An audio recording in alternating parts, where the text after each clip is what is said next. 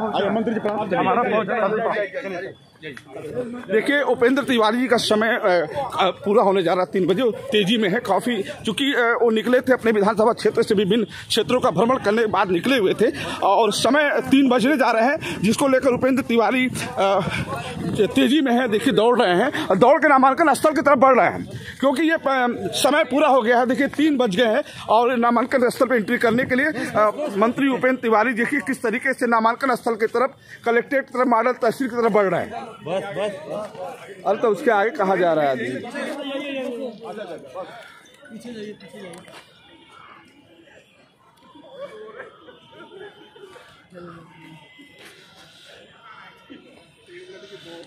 योगी सरकार के मंत्री उपेंद्र तिवारी नामांकन की तरफ़ दौड़ते हुए